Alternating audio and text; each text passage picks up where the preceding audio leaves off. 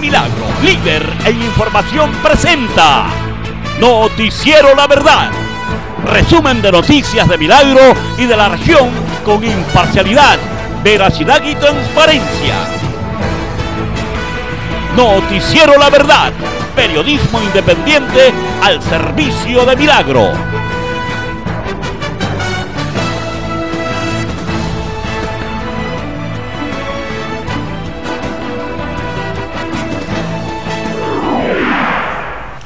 Hola, ¿qué tal amigos televidentes? Bienvenidos a una nueva emisión de su noticiero La Verdad. Aquí iniciamos ya el recorrido por los principales hechos que hicieron noticia en Milagro y sus alrededores. Y a los amigos que nos ven en el mundo a través de la www.prensalaverdad.com, un saludo muy cordial desde la ciudad de Milagro, Ecuador, Sudamérica, la capital mundial de las piñas. Aquí iniciamos ya con el desarrollo de las informaciones. Bueno, Ecuador amaneció ya con un nuevo presidente según datos proporcionados por el Consejo Nacional Electoral con dos puntos eh, aproximadamente de diferencia.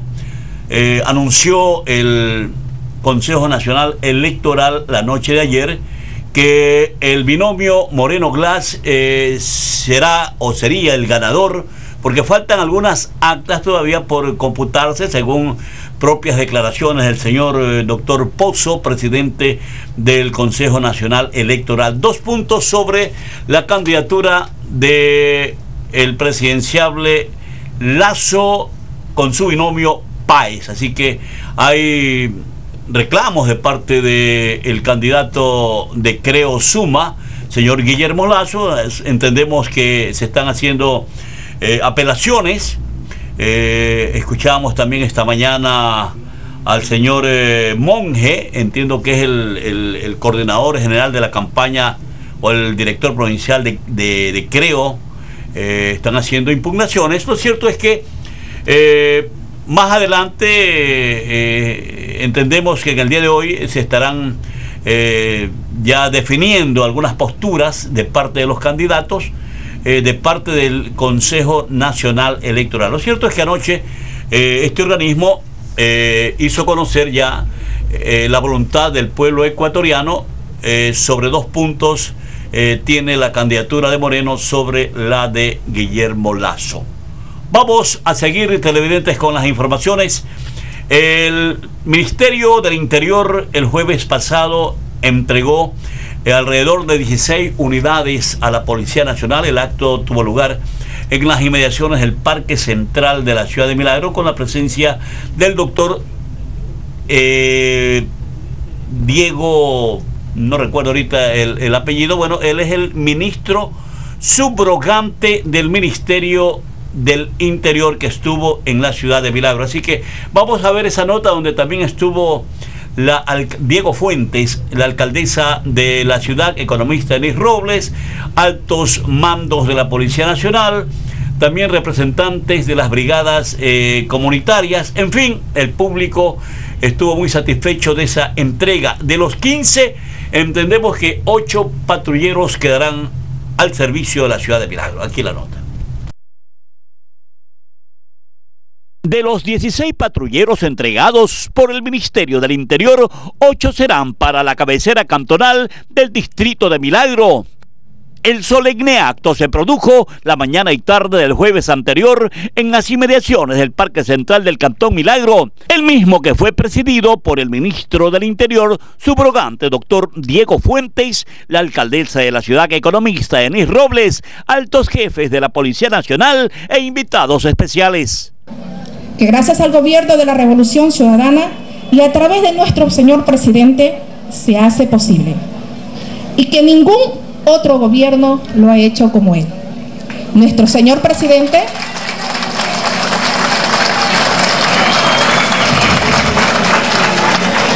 Nuestro señor presidente le tiene un inmenso cariño a Milagro y eso lo sabemos. Y eso se refleja en todos los recursos que nos ha enviado no puedo dejar de agradecerle a nuestra querida alcaldesa, economista Denis Robles, que gracias a sus deseos y gestiones que hoy generan unos buenos frutos. Estamos seguros de que gracias a estas entregas de patrullas a la Policía Nacional y al Ministerio del Interior podrán realizar con mayor efectividad su trabajo los señores de la policía. Nosotros, las brigadas comunitarias, siempre estaremos ahí, siempre estaremos pendientes con la comunidad, ayudándolos en charlas, asegurando que la comunidad esté siempre presta para ayudarles. Cada día superamos para un mejor vivir para nuestros milagreños. Nos sentiremos más seguros de poder dormir en nuestros hogares con nuestros seres queridos y no poder disfrutar sanamente. Disfrutaremos de ahora en adelante en los espacios recuperados que lo hacen ellos. Gracias una vez más por saber que milagro, milagro estamos aquí. Y no olvidaremos que tenemos hermanos cantones también en la provincia del Guayas. Muchas gracias. Luego intervino la alcaldesa Denise Robles en nombre de la ciudadanía. Querida ciudadanía en general de nuestro cantón y de cada uno de los cantones que van a ser beneficiados esta mañana, primero gracias a Dios y gracias a la buena voluntad de este gobierno nacional liderado por nuestro presidente, el economista Rafael Correa Delgado, que se ha preocupado por darle mayor seguridad ciudadana a nuestro querido Cantón Milagro. Hemos tenido un sinnúmero de obras y hemos sido escuchados, queridos milagreños. Estos vehículos, cuatro vehículos, cuatro patrulleros, van a servir para recorrer cada uno de los, de los sectores de nuestro Cantón Milagro y brindar mayor número de seguridad.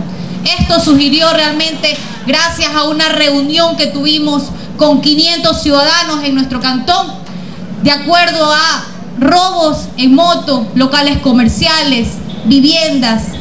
Y gracias, señor ministro, por estar usted aquí dándole esa entrega formal de los vehículos a nuestro querido cantón. El número de oficiales también. Son 15 vehículos que hoy se entregan, pero 8 vehículos, 8 patrulleros son destinados solamente para nuestro Cantón Milagro.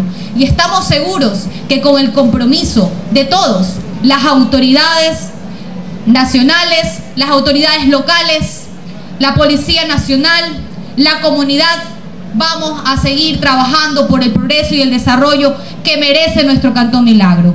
A nombre de toda la ciudadanía, de alrededor de 200 mil habitantes que tiene nuestro cantón, no me queda más que agradecerle y también solicitarle, aprovechando tener su presencia en nuestro cantón, la remodelación del cuartel de los policías para que tenga una vida digna también nuestra Policía Nacional que trabaja aquí por darle mejores días a nuestro Cantón Milagro. Más adelante hizo uso de la palabra el doctor Diego Fuentes, ministro del Interior subrogante.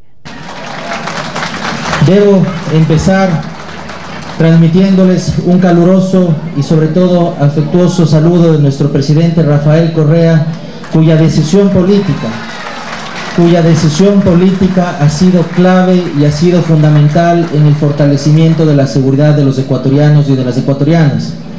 Hoy, qué importante cómo ha cambiado el país. Aquí, en Milagro, hacemos esta entrega de estos patrulleros y de estos oficiales que van a fortalecer la seguridad de nuestras familias, de nuestros hermanos, de nuestros hijos y de nuestra comunidad. Nunca más, nunca más ese pasado de cantones y provincias de tercera y de segunda categoría. Hoy el gobierno nacional aquí, en Milagro, les entrega a ustedes más recursos para la seguridad de todos y de todas. El acto culminó con la entrega de las llaves de los vehículos a los policías encargados de conducirlos y con la incorporación de nuevos elementos policiales para la institución. Vicente Peso, Telemilagro. Muy bien, ya Milagro cuenta entonces con nuevas unidades para el combate eh, a la delincuencia. Sobre este acto realizado en el Parque Central de nuestra ciudad, eh, se dieron ya las primeras reacciones. Veamos la nota. Telemilagro. Bien, nos encontramos con el presidente del Centro Agrícola aquí en la ciudad de Milagro, el licenciado Jorge Espinosa. Bien, Jorgito, eh, hoy se están entregando varios vehículos, como usted verá ya, patrulleros para el Cantón Milagro. Tal vez esto nos permitirá estar un poco más seguros ante tanta delincuencia que se dan en diferentes sectores del cantón. Bueno, yo como representante de todos los agricultores aquí en el cantón, quiero manifestar lo siguiente. Antes que nada, estimado licenciado, agradezco porque me da la oportunidad de dirigirme.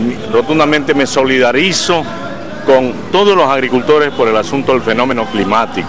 Pero más del fenómeno climático tenemos el problema, es verdad, de la inseguridad que está realmente queriendo brotar de una manera aquí a nuestro cantón. Pero esta es la muestra, la muestra de que por a través de todas las organizaciones que hemos hecho, hemos sido portavoces, voceros de que el problema de la seguridad eh, ciudadana es muy necesario para poder tener desarrollo, porque ¿qué sucede? Que yo hago los cultivos, cosecho y salgo, vendo mi producto y en el momento me encuentro atravesado de que la delincuencia me coge y me, y me roba todo. Entonces, esta es la muestra de que las autoridades rotundamente están queriendo cumplir. Y ahora, fundamentalmente sí me gustaría decirle a todos los agricultores y a todos los hermanos ciudadanos aquí de Milagro que hagamos un seguimiento para ver qué efectividad tiene el asunto de los patrulleros. Eso es fundamental, saber, porque nuestras autoridades sí nos están cumpliendo, pero vamos a ver si rotundamente qué hacen con los patrulleros, qué tipo de norma, qué, qué asunto de lo, de lo que es fundamentalmente conocer a quiénes van, a qué centros de unidad de comunitaria de policía van cada uno para ver el desarrollo pues, de, de estos de esto verdadera labor que está haciendo ahorita la autoridad competente. ¿no? Perfecto, están las expresiones del licenciado Jorge Espinosa, quien nos da a conocer referente a estos patrulleros que serán entregados efectivamente al Cantón Milagro y tal vez a otros puntos más para poder tener el circuito de seguridad en diferentes puntos. Y esperemos que con esto eh, baje un poco el índice delincuencial y que las cosas vayan fluyendo para el Cantón Milagro. Estaremos nuevamente visitando en cualquier momento, licenciado, para conversar un poco sobre el etapa invernal que está azotando duramente a varios sectores agrícolas en nuestro cantón. Un informe de José Olaya para Telemilagro, Noticiero La Verdad. Bien, vamos a continuar televidentes con más informaciones. Eh, también se cumplió eh, en los últimos días de la semana la entrega de dos sillas de ruedas de parte de la misión Las Manuelas. Eh, sabemos que es una de las propuestas del virtual ganador de la presidencia de la República, el licenciado eh, Lenín Moreno, pero ellos ya estaban eh, trabajando desde la semana anterior, hace dos o tres semanas anterior, trabajando en esto de la nueva misión Las Manuelas. Ellos, aparte de entregarle una silla a un ciudadano en, la, en el sector de la San Emilio, que puede ser una discapacidad severa, 75%, Avanzaron, eh, luego de entregar allí al señor Campuzano, avanzaron donde un jovencito, mm, Víctor Calvas, el padre de este joven nos cuenta cómo eh, su hijo eh, quedó discapacitado luego de una caída cuando tenía cinco meses, el niño estaba bien. Lastimosamente cuando él estuvo con su bebé en la hamaca, el niño cayó y tres meses después el médico le diagnosticó un, un problema ya en su estructura ósea y el niño quedó lastimosamente con una discapacidad severa. Las Manuelas estuvieron en este domicilio en el sector de la San Emilio. Veamos la nota. La acción solidaria de la misión Las Manuelas, luego de atender a don Isidro Campuzano, se dirigió dos cuadras más adelante en el sector de la San Emilio hasta el domicilio del joven de 23 años de edad, Víctor Calvas. Previamente conocimos el caso de la voz de su padre. El caso de mi hijo es que él, nació bien. Él como a los cinco meses él era un niño normal, como cualquier niño. Y yo había llegado del trabajo y me acuesto a descansar en la máquina, justo voy con, con, mi, con mi niño. En esos tiempos yo vivía en la casa de mis padres. Y entonces, como yo había cogido a mi hijo en, los brazos, y no sé qué, la criatura también se da por... Me paro yo. A lo que me paro, la criatura se me va de los brazos. y cayó al suelo. En esos tiempos era que tenían casita de caña, tenían mis padres ahí. Y ese motivo, con ese motivo a los tres meses me resultó con esa enfermedad.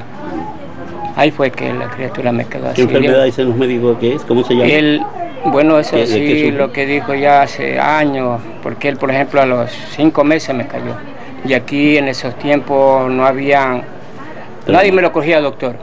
Nadie me quería coger aquí, el doctor aquí en Milagro, hubo un doctor aquí en, que quedaba este apellido Montero, que quedaba aquí en, la García Moreno, entre Rocafuerte y 9 de octubre. El doctor me lo cogió, pero ya con condición. Y él me lo, me lo observó, me lo vio, y él para que él me lo rehabilitó. Y ahí él sí me dijo, él fue sincero y me dijo, sabe que la criatura no va a quedar normal. Y ahí fue lo que como quedó mi hijo así. Inmediatamente la misión ingresó al domicilio del joven Víctor Calvas para proceder a la entrega de una silla de ruedas. La madre del joven con discapacidad colocó al niño en su nueva herramienta para hacer más llevadera su vida. De recibir esta ayuda que mi hijo bastante lo necesita. Y que Dios lo bendiga y que sea adelante con los nuevos presidentes. Que así va a ser, así va a ser. Bendiga a nuestro presidente. Va a ser nuestro presidente. Muchísimas gracias. Gracias por atendernos. gracias por recibirnos. Por aguantarnos. Por aguantarnos. Bueno, la misión continúa con nuestro presidente ya con el apoyo de ustedes, que van a ser las personas más beneficiadas de los proyectos. Rocío, esposa del el presidente Lenín Moreno va a estar al frente de esta misión y esperando que les sirva muchísimo a ustedes. Dios la bendiga, siga cuidando a Pachito.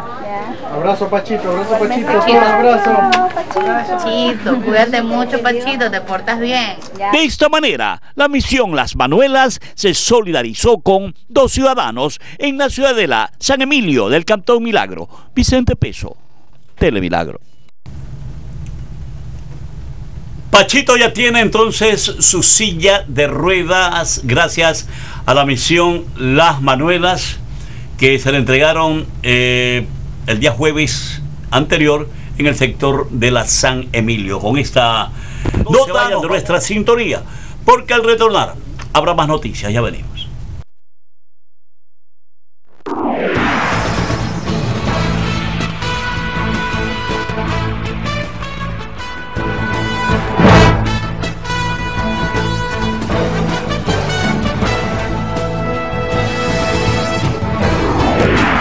Vamos a continuar televidentes con más informaciones. Decíamos al inicio de nuestro boletín de noticias que luego de el anuncio del Consejo Nacional Electoral sobre eh, la victoria del el binomio Moreno Glass eh, se registraron eh, sobre todo en Milagro algunos algunas actividades previas a conocer este resultado oficial del Consejo Nacional Electoral.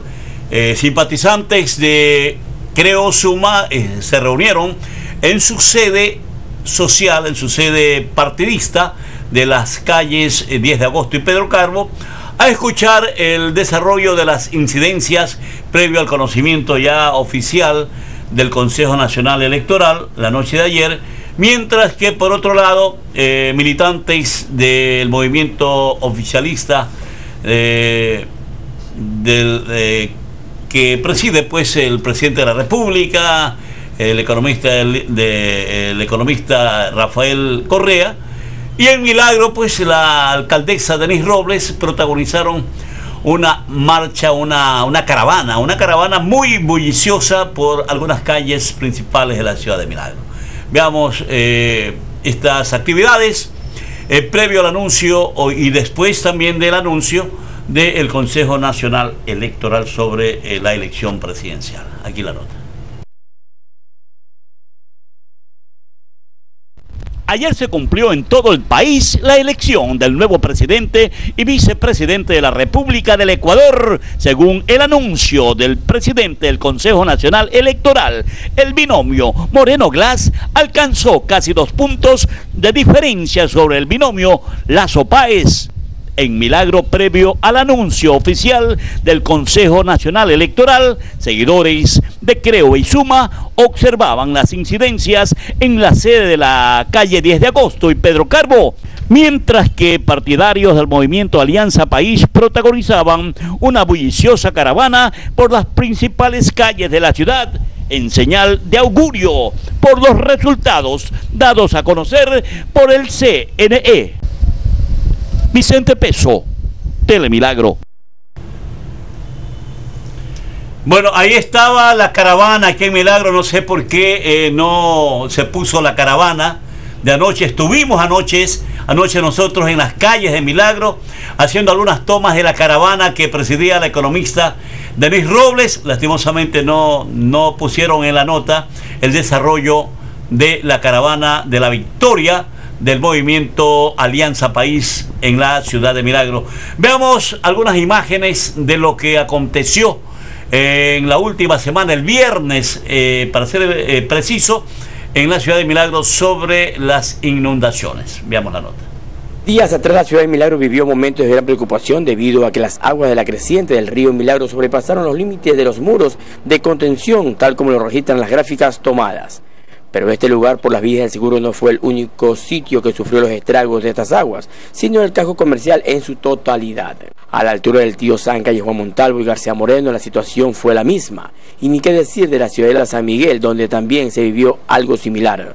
Es así que después de casi 30 años alguien nos decía, se vuelve a vivir este malestar, que a muchos los alarmó, puesto las aguas subían y subían. Ya todo ha vuelto a la normalidad y ahora a recuperar el tiempo perdido y a trabajar para poder seguir adelante con nuestras vidas. Un informe de José Olaya para Telemilagro, Noticiero La Verdad. Y bueno, eh, aquella inundación, la del día jueves, viernes sobre todo, eh, dejó algunas secuelas, algunas casas caídas. Eh, precisamente a Paola Sánchez se le vino su vivienda abajo, ahí estuvieron las cámaras de Telemilagro. Veamos la nota. Aquí hemos llegado compañeros al sector de San Miguel, podemos ver a mis espaldas una vivienda que prácticamente se encuentra ya colapsada totalmente.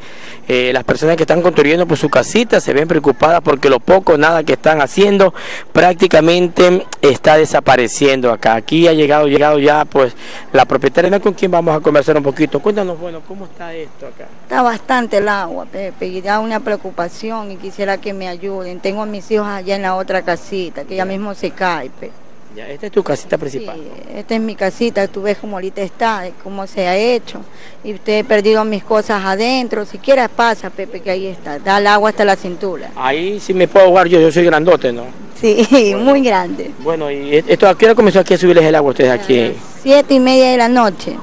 Sí, sigue subiendo, no está bajando el agua vemos que la gente trata de salir también por todos los sectores para poder este, avanzar hasta el centro de la ciudad. ¿eh? Sí, toda la noche hemos tratado de querer salir, pero nos hemos quedado por la preocupación de no dejar nuestra vivienda sola, porque usted sabe que ahí es donde abusa el, ladrón, entonces... Bueno, en todo caso, después, después que vas el agua, tú necesitas ayuda, ¿no? Tu techo, todo se te ha ido. Necesito ayuda, que me ayuden, se me fue el techo, todo, me he quedado sin nada. Ahí vemos que hay unos bloquecitos pegados, pero eso ya con el agua se despega todo. Sí, ya con el agua se despega todo y es lo mismo, que ya me quedo sin nada de nuevo en la calle. Una inversión un poquito dura ahí. Sí, un poquito dura, que hice un préstamo, pero de nada y de nada me sirvió. ¿Tu nombre? Paola Carolina Sánchez Ortega. ¿Vives en la avenida principal Carpodónica? Sí. Ajá. Sí, esa es la ciudad de la que se llama aquí, en toda la avenida frente al seguro. Bien, listo. Ahí hemos hablado pues con la propietaria de este inmueble que ustedes ven a mi espalda. Eh, la verdad, pues eh, la situación nos, nos, lleva o nos conlleva a llegar a diferentes sitios y ver la realidad que están viviendo algunos amigos, compañeros, eh, milagreños, gente que necesita, miren, el, techo se ha ido abajo. Eh, los pocos que han estado construyendo prácticamente se les está perdiendo sus enseres en la parte de adentro, dice ella, porque está todo a pique. Por aquí vemos un podemos ver un pequeño ropero. Eh, lo que pasa es que como ya le digo, yo soy grandote y ahí sí me voy a ahogar, ¿no? Bueno, pero bueno, esperemos que la ayuda llegue lo más pronto posible, luego de que las aguas de que las aguas bajen. Ellos dicen porque pues, esperan que la señora economista Robles, alcaldesa de esta ciudad, se haga presente y vea pues la realidad, ¿no? Sabemos que la situación está difícil para todos en estos momentos, esperemos que la ayuda llegue poco a poco. Ahí también podemos ver a un amigo nuestro, el compañero eh, Morales, que va ahí pues con su esposa también, él es el presidente de la Asociación de Payasos de aquí del Cantón, también va evacuando, saliendo pues para afuera, ¿no? Esta es la, eh, eh, la situación desde acá, informa para Telemilagro José Ola. Bien, con esta nota periodística no se vayan a tornar. Habrá más informaciones, ya venimos.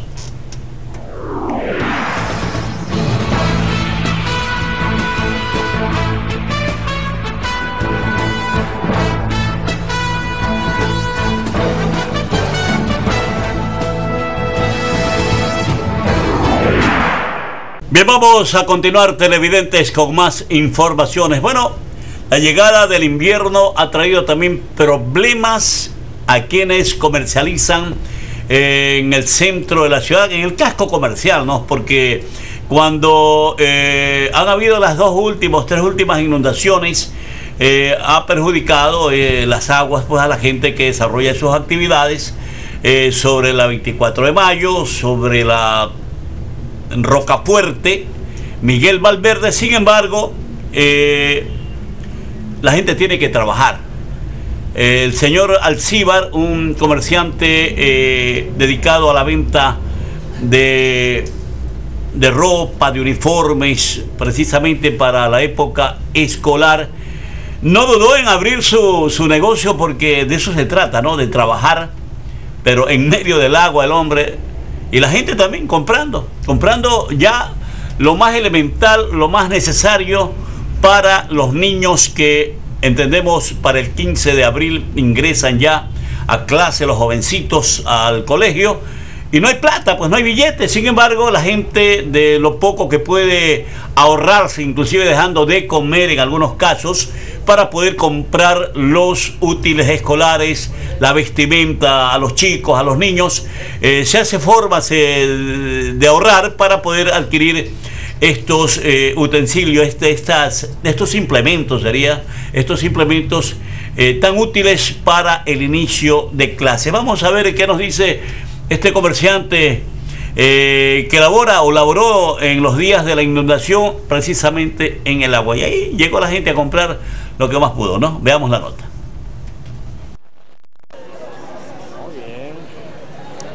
Bien, aquí nos encontramos en el centro de la ciudad. Vamos a conversar con un amigo muy conocido.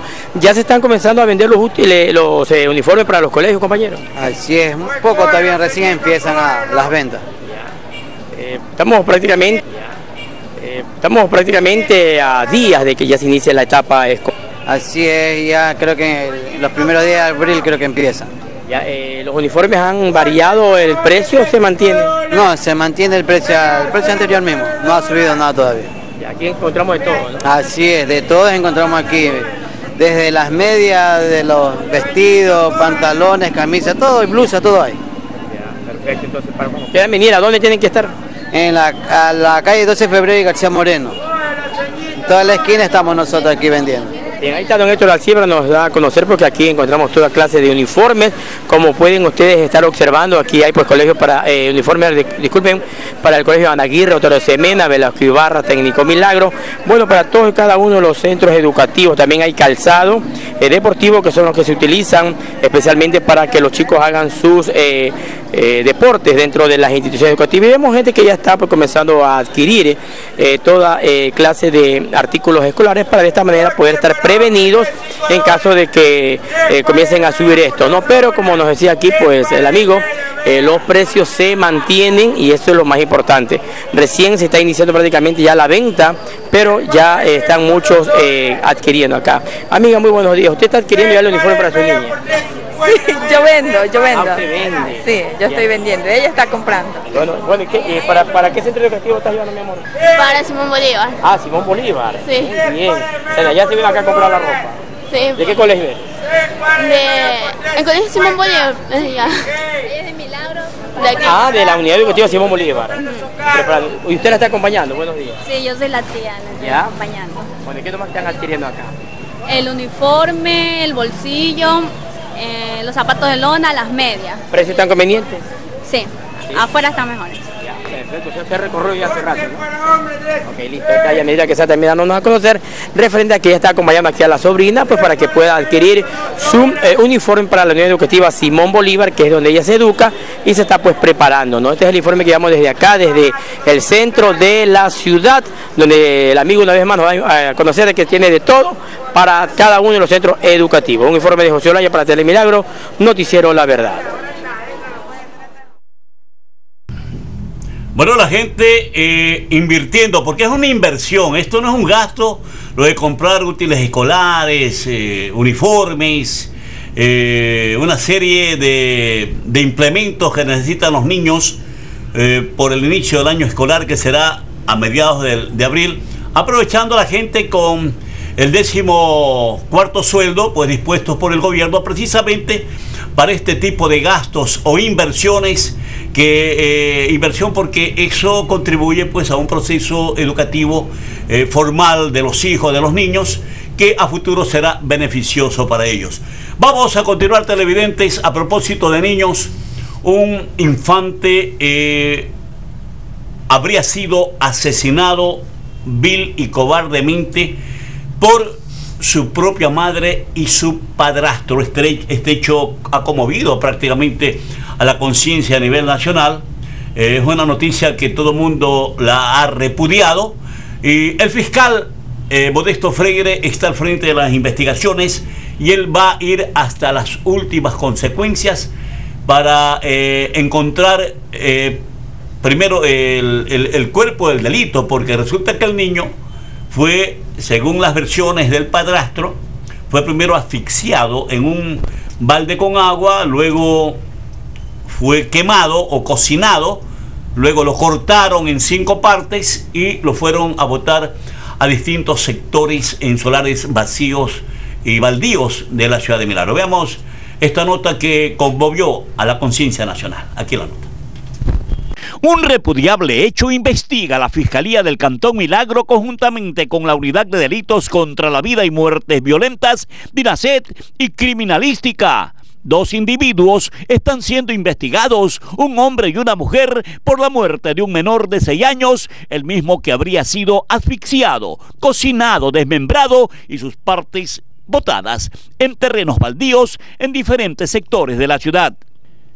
Uno de los acusados, el padrastro del niño, fue llevado por la policía al sitio donde habría depositado la cabeza del infante cerca de la unidad educativa Milagro. Una vez localizado el objetivo, una mochila de color negro donde supuestamente estaba la cabeza del niño, el fiscal que sigue el caso dijo a la prensa. Ante una noticia horrible, la Fiscalía y la Policía Nacional con la Policía Especializada de la DINASET estamos investigando, recopilando indicios de lo que podría haber sido la desaparición y muerte de un niño de 6 años de edad. Doctor, ¿cómo, ¿cómo se llega a este indicio? ¿Cómo se descubre esta cuestión? Por